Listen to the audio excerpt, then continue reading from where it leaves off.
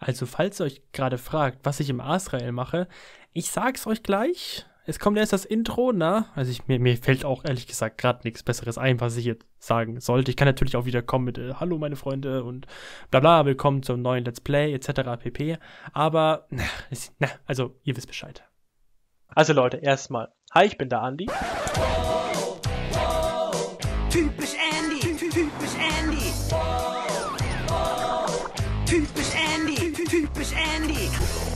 Da ich ja jetzt aktuell im Azrael bin, was ja manche sehen, ähm, Frage ist natürlich erstmal, warum bin ich da drin? Das ist ganz einfacher Grund. Ich habe in Twitch habe ich meine Kanalpunkte eingeführt, äh, mache einen Run. So, einer war wieder ganz witzig gewesen und hat mir den Azrael reingedrückt, äh, was dann nicht so geil war, weil die Portale im Run, also nee, sagen wir es mal lieber davor, so, ich dachte ja eigentlich, ja, okay, Azrael äh, wird schon locker flockig gehen, ne? Außer die Portale, die werden wahrscheinlich ein bisschen knifflig, aber man kann ja alles im Wiki nachlesen.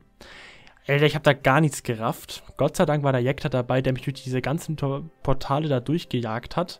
Äh, weil sonst wäre ich wahrscheinlich im Azrael, ich, ich wäre wahrscheinlich nicht einmal bis zum Azrael gekommen und hätte es, also, ne, ihr wisst, was ich meine.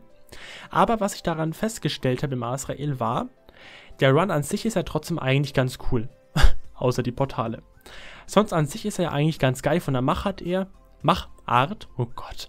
Aber was ich ein bisschen schade finde, ist, warum kann man zum Beispiel einen Azrael, den könnte man doch super aufpeppen, wenn man diese Truhe des Azraels, wo ja nur noch sowas wie Seelenkristallschmuck und Waffen und Rüstungen, die eigentlich eh keiner so wirklich braucht, gerade in dem Run, war vielleicht mal früher ganz interessant, jetzt aber nicht mehr. Da könnte man doch auch solche Sachen einfach einführen, wie vielleicht mal ein Schmiedehandbuch, mal ein Switcherchen, mal, ihr wisst, was ich meine, ne? Man könnte bestimmt die Truhe einfach mal sehr schön aufwerten, um den Spielern ein bisschen was zu geben, dass der Run mal wieder lukrativ ist, weil seid mal ganz ehrlich, wer macht denn aktuell ein Azrael Run? Also man könnte den super aufpeppen. Wäre doch mal ein Gedanke für die Gameforge. So, weiter geht's jetzt damit, dass wir wieder im Rassador sind. Ab und zu farme ich den mal, aber aktuell sind die Passierscheinpreise sehr, sehr hoch. Ich meine, gerade auch wegen dem EXP-Event etc. Da sind die Passierscheine teilweise zwischen 20, 30 KK sogar richtig hochgegangen. Also ich glaube, das teuerste, was ich bis jetzt gesehen habe, sind 30 KK. Wenn man dann überlegt, dass man zwei Chars mitnimmt, sind wir bei 60 KK. Und äh, der Loot einfach von den Truhen kann ja zwischen 8 und 10 sein. Die Truhen sind aktuell auf dem Markt für so 8 bis 10 KK, also wirklich viel in so 20 bis 30 Minuten an Gewinn kommen nicht rum. Vielleicht mal 40, 50 KK, wenn es gut läuft. Aber da ist der Rassador aktuell nicht zu empfehlen, meiner Meinung nach. Hier habe ich mir noch Feuerschuhe plus 7 mit 2K, 5 Crit, 5 Ohnmacht für 20 Won gekauft. Alles gut, ich weiß, es sind keine 10 Crit, aber für den Preis, für mein Vasu waren sie völlig ausreichend. Wir haben noch ein Falkenschild, was wir letztens für 6 Won gekauft haben, an unseren Kollegen Swutzi verkauft. Für 12 Won, da hatte ich auch ein bisschen mal gut Gewinn drin gehabt. Der Preis war trotzdem noch völlig in Ordnung. Was wir hier noch sehen, meine Rubino-Ringe, die ich appe. Warum appe ich die? Zum einen, wenn man zum Beispiel den Zodiac macht und am Ende den Boss deffen will, dann wären Rubino-Ringe an sich gar nicht schlecht. Und abgesehen mal davon, dass ich, wie gesagt, wie im letzten Let's Play noch gar nicht großartig Zodiac selber gemacht habe, ähm, wenn du mal irgendwas deffen willst, sind die, glaube ich, mal gar nicht verkehrt. Ich habe auch schon manchmal mit dem Gedanken gespielt, die zu verkaufen. Aber ich glaube, wenn man die Dinger mal hat, plus 8 wenigstens oder so, wenn sie denn plus 8 gehen, dann ist das schon vielleicht ganz okay. Mein Dinger kosten nicht viel. Appen ist jetzt auch nicht gerade wirklich teuer. Klar, weiße Perlen, da muss man dann mal gucken, wie es mal abläuft. Also es sind am Anfang immer ein bisschen gut gefailt. Jetzt haben wir den plus 8er Versuch welcher auch geklappt hat, Gott sei Dank. Die, da muss ich aber wirklich sagen, die gehen echt, also die gingen echt fix hoch. Also es war, puh, aber weiße Perlen sind auch schon 8, 9 KK, darf man auch nicht unterschätzen.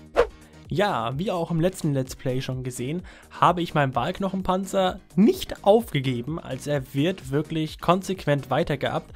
Muss auch sagen, ist schon natürlich recht teuer, die ganzen Titandioxide, die man für plus 7 ausgibt.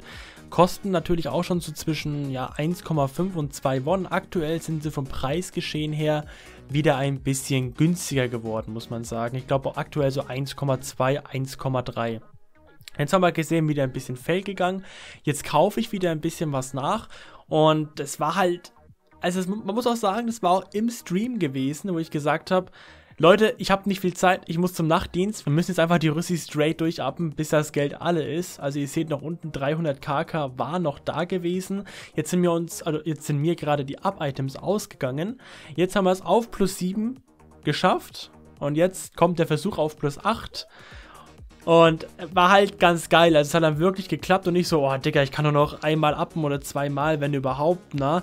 Und dann hat es dann echt noch geklappt und ich so, puh, vor allem mit der Drachensäge, das darf man hier nicht vergessen. Alle haben wieder gesagt, boah, nimm doch Schmiede, nimm Schmiede, Digga. Ich so, nein, wir nehmen die Drachensäge, weil Drachensäge trotzdem immer noch günstiger ist und habe ich, wie gesagt, ein bisschen bessere Erfahrungen gemacht damit. Wir haben jetzt gerade noch gesehen, ich habe einen Tigerplattenpanzer gekauft mit 50 Angriffswert, 10 DP absorbieren. Darauf kommen wir aber gleich wieder zurück. Hier nochmal die ganzen Rassadur-Kisten. Wenn man natürlich so eine Sache bekommt wie eine Flamme, dann lohnt sich der Run. Aber halt auch nur, wenn du so eine Flamme bekommst. Eine Flamme ist aktuell, glaube ich, circa 1,4 Won wert. Für, ähm, also ich sag mal so, wenn du halt dann, so sagen wir mal, 9 Rassador-Truhen hast, die sind dann vielleicht Gehen wir mal von 8 KK ungefähr aus, sind dann 72 KK insgesamt. Passierscheine insgesamt 2 Stück 50 KK, das ist schon, puh. Aber wenn du eine Flamme rausbekommst, dann ist ja lucky. Aber das Glück musst du halt auch erstmal haben. Was wir hier noch haben, meine Shami, meine Zweit-Shami vom Basu, ähm, Segen auf G gelesen, jetzt für die Grotte bereit machen, habe ich einen Phönixhut gekauft mit 20 Teufel, 15 Blitz für 10 Won. Ist eigentlich ein sehr, sehr guter Preis, muss ich sagen. Was, was willst du mehr eigentlich von den Bonis her? Also für 10 Won gerade mal auch so einen Helm zu finden, fand ich eigentlich nicht schlecht noch eine Holzhalskette gedreht, wenigstens 1,5 KTP. Für die aktuelle Situation im SD3, das momentan Feuerdev bei den Spinnen hilft und auch ähm, Kraft des Feuers, finde ich persönlich ganz geil, muss ich sagen. Uiuiui, jetzt kam es mir aber gerade kurz hoch, ey. Huiuiui. ähm, ähm, SD3 Feuerdev finde ich gerade also, also, also jetzt nicht wegen, äh, ne, also nicht wegen Feuerdev kam es mir jetzt nicht hoch, aber ihr wisst Bescheid. Ähm, ich finde eigentlich die Idee mit Feuerdev im SC3 ganz cool, wobei ich immer noch nicht verstehe, warum Feuerdev, aber wahrscheinlich gab es halt gerade nichts anderes in dem Moment. Aber ich finde eigentlich Feuerdev finde ich eigentlich ganz cool, dass man das eingebracht hat. So haben auch viele andere Low-Level-Chars äh, bessere Möglichkeiten, um sich im SC3 behaupten zu können, sage ich jetzt mal können auch viel mehr Leveldienste angeboten werden. Chars sind auch einfach auch schneller gelevelt. Manche haben sich wieder darüber beschwert und haben gesagt, äh, warum macht man das? Da tust du ja wieder so viel damit entwerten. Sehe ich gar nicht so. Also ich finde es eigentlich total geil. Feuerequipment wird einfach vom Preis her teurer, es wird lukrativer. Mehr Leute können mal wieder ähm, entspannter einfach mal leveln, sage ich jetzt mal, und müssen nicht immer wieder gefühlt einen Exe-Ring haben damit, oder einen Rubin, damit wieder alles funktioniert. Kannst auch einfach ohne Alti im ST3 rumlurken und kannst dir einfach mit Feuerdev-Equipment, kannst ja auch recht, also du musst halt, also ist jetzt nicht so, dass du gar kein Feuerdev-Equipment brauchst, also du brauchst schon recht viel Feuer, damit es auch vorangeht, aber es geht definitiv besser voran als davor und das finde ich an sich eigentlich ganz cool.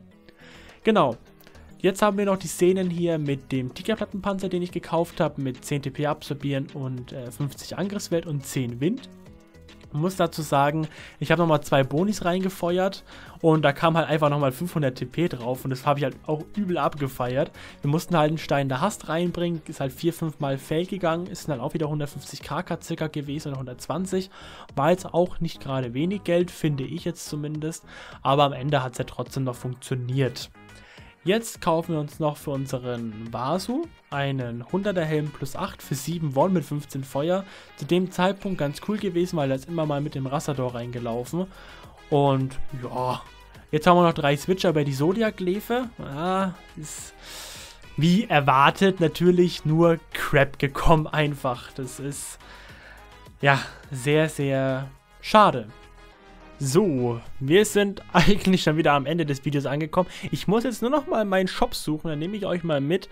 Äh, ich, muss auch ehrlich sagen, ich habe den jetzt die ganze Zeit echt nicht gefunden. Kennt ihr das, wenn ihr so auf der Handelsmap seid und dann lauft ihr mit der, euren Main so rum und dann so, ah, da, da irgendwo ist mein Shop. Ich meine, ich könnte natürlich genauso mein Glas des Handelns anwerfen und danach gucken aber äh, wird mir auch nichts bringen. Also das übrigens ist nicht mein Shop gewesen, es war nur vom Gildenkollegen. Und jetzt suche ich ihn immer noch verzweifelt, weil ich mir so dachte, okay, irgendwo hier in dem Bereich habe ich ihn, irgendwo da. Und ja, da habe ich ihn auch gefunden. Harter Frau, ja, Harter Frau ist mein Shopname. Sehr weirder Name.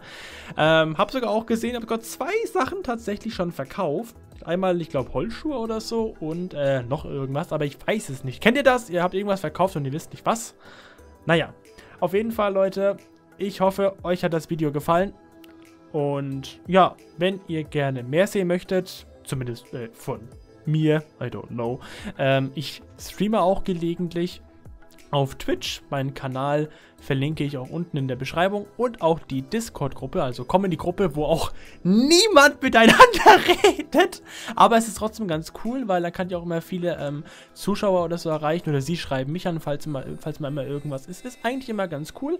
Also hat schon auch seinen Nutzen auf jeden Fall. Perfekte Werbung.